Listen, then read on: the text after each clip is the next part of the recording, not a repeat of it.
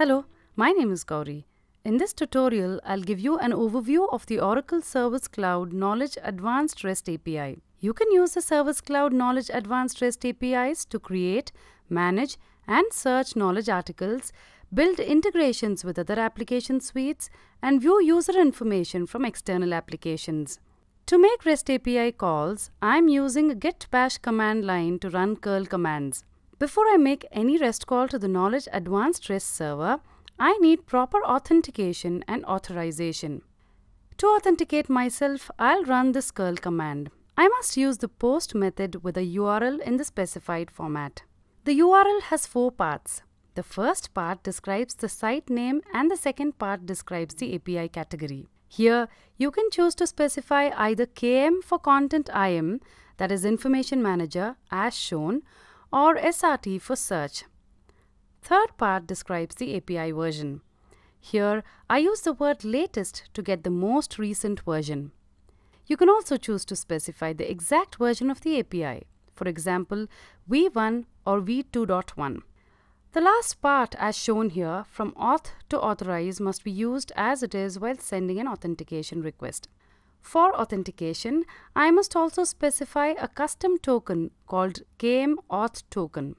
The token value contains the site name in JSON format as shown here. I've provided my authentication credentials in a JSON file and I'm referencing the file in the curl command. The credentials must be specified in the JSON format as shown. Here, login describes username, password describes password, and site name describes name of the site. After the authentication is successful, an authentication token is returned. I copy the token value and use it in my subsequent authorization request. For authorization, I must use a POST request with a URL in the specified format. The URL must end with auth slash authorize after the API version. I specify km auth token in this command as I did earlier for authentication. In addition, I also have to specify the authentication token value that I received from the previous request and mention it as integration user token.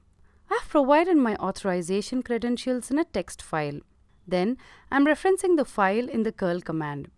As shown, the authorization credentials must contain username, password, site name, and user type as ampersand separated values. After the authorization is successful, a response is returned. The response contains an authentication token, user information such as username, last name, record ID, and so on. The authentication token in turn contains an integration user token and a user token. As the authorization is successful, I can now make a sample REST API call. I'll send a GET request to retrieve all the content articles from the knowledge base. In this REST call, I must specify the KM auth token with site name and integration user token values in it. I must also specify my authorization credentials. The response returned contains all the content articles stored in the knowledge base. Thank you.